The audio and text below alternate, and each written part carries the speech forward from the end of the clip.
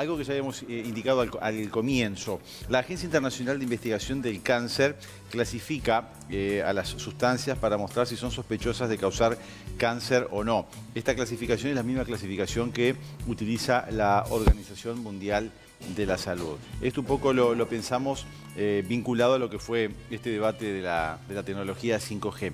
Y ya podemos compartir, la señor director, la primera plaquita.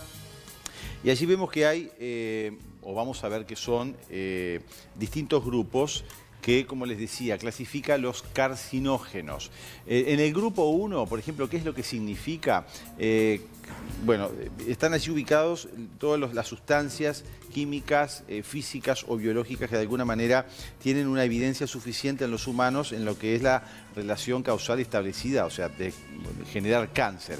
¿Qué es lo que incluye? Ahí los iconos obviamente no los van a entender, pero era la pregunta que yo les hacía al comienzo. Acá está el cigarrillo, la exposición a la radiación solar, las bebidas alcohólicas, y las carnes procesadas. Esas configuran el grupo 1 de carcinógenos con fuerte evidencia entonces para la salud de los humanos. Este índice solo nos dice cuán fuerte es la evidencia para causar cáncer. No quiere decir que la carne procesada tenga la misma intensidad en causar cáncer que la radiación solar o el tabaco, pero en los hechos todas se, eh, ubican en el grupo 1. El grupo 2A eh, quiere decir que son probablemente carcinógenos para los humanos, hay una evidencia igualmente limitada en los humanos, pero suficiente en animales. Y acá tenemos, por ejemplo, las emisiones por frituras a alta temperatura, los esteroides, la exposición ocupacional a veces por los distintos tipos de productos que se utilizan en peluquería y las carnes rojas.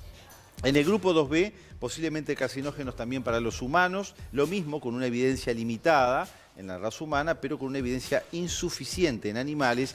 Y acá es donde se, ubicaría la tecnología 5G, la polémica 5G, junto al café, a la gasolina, a las emisiones de motor de gasolina, a los gases que se emiten por soldaduras y también a las eh, verduras que están procesadas, encurtidas.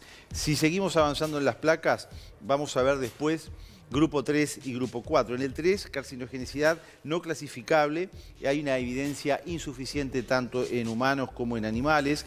Y acá tenemos el T, los campos magnéticos estáticos, la iluminación fluorescente y el polietileno.